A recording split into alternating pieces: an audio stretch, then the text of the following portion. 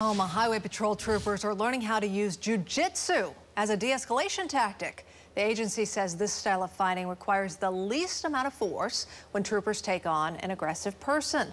Our Bobby Miller has the details.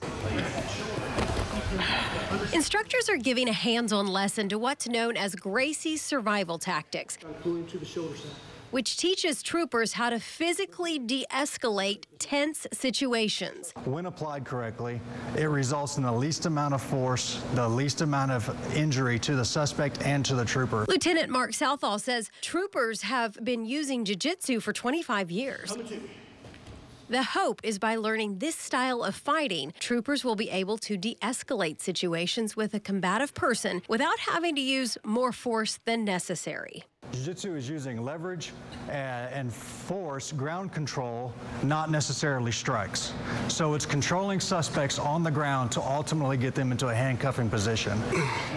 Southall says this training is important for all troopers because violence towards law enforcement has increased in recent years and troopers need to know how to fight back. Southall says troopers encounter use of force scenarios frequently, sometimes as often as every day. Troopers work by themselves daily, all the time. They don't have a partner.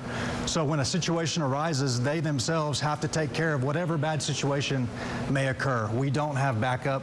So these guys have to be able to de escalate the situation themselves. Those our Bobby Miller reporting. The Oklahoma Highway Patrol expects all troopers to get this training by the end of this year, and then additional training is expected to be completed annually.